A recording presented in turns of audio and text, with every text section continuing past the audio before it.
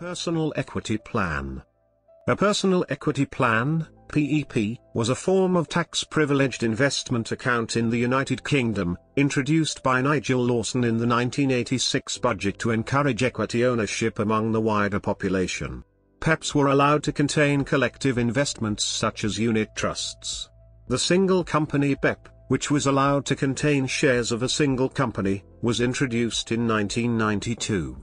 PEPs were superseded by individual savings accounts in 1999, and remaining accounts were converted to ISAs in 2008.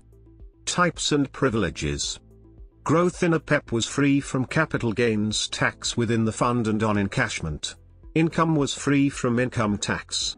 There were two types of PEP, the general PEP with an annual allowance of £6,000 and the single company PEP with an annual allowance of £3,000. Investments in a general PEP were limited to qualifying collective investments. Qualifying investments had at least half of their assets invested in the UK, later extended to the European Union. The qualification rule for existing PEPs was removed in 2001. Single company PEPs could be invested a single company only.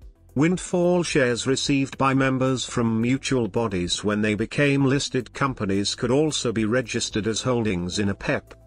Replacement Beginning the 6th of April 1999, the advanced corporation tax relief on share dividends received on a PEP was halved, partially ending their tax-exempt status.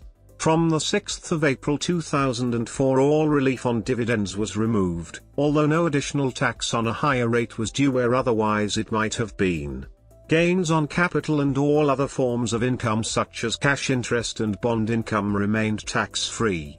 Significant cash holdings for any length of time were discouraged by Revenue and Customs, the holdings in a PEP were supposed to be based on shares or corporate bonds. Following the introduction of individual savings accounts, ISAs, on the 6th of April 1999, no new contributions could be made into PEPs.